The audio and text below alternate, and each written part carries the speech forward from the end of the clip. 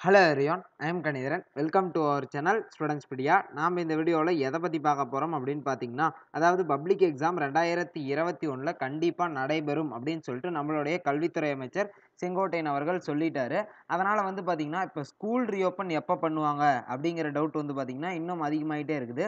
அதாவது ஜனவரியில் school reopen பண்ணுவாங்களா அப்படின்னு கேட்டிங்கன்னா அதுக்கு வந்து பார்த்திங்கன்னா நம்மளுடைய கல்வித்துறை அமைச்சர் செங்கோட்டையன் அவர்கள் ஒரு பதில் ஒன்றை எழுத்தியிருக்கிறார் என்ன சொன்னார் அப்படின்னு பார்த்தீங்கன்னா அதாவது பொதுத் தேர்வு எழுதக்கூடிய மாணவர்களுக்கு மட்டும் சிறப்பு வகுப்புகள் நடத்துவது குறித்து முதல்வர்கிட்ட ஆலோசனை பண்ணிட்டு வரோம். முதல்வர் சொன்ன உடனே நாங்கள் வந்து பள்ளிகளை சிறப்பு வகுப்புகள் தொடங்கிடுவோம் அப்படிங்கிற மாதிரி சொல்லியிருக்காரு. அதாவது இது என்ன சொல்கிறாரு அப்படின்னு பார்த்தீங்கன்னா ஜனவரியில் அதாவது ஆஃப்டர் பொங்கல் ஓகேங்களா? பொங்கல் முடிஞ்சதுக்கப்புறம் tenth plus one plus two இவங்களுக்குலாம் வந்து பார்த்திங்கன்னா ஸ்கூல் ரீஓப்பன் பண்ணுறதுக்கு சான்ஸ் இருக்குது. அந்த மாதிரி தான் சொல்லியிருக்காரு.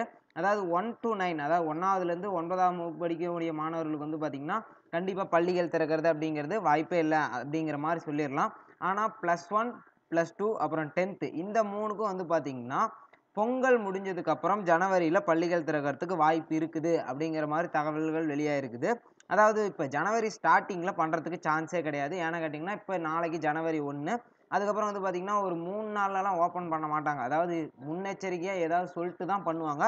அதனால் பொங்கல் முடிஞ்சு ஓப்பன் பண்ணுவாங்களா மாட்டாங்களா அப்படிங்கிறது தான் முதல்வர்கிட்டருந்து வர வேண்டிய அறிவிப்பாக இருக்குது. அதுக்கு வெயிட் பண்ணுவோம். Okay bye thank you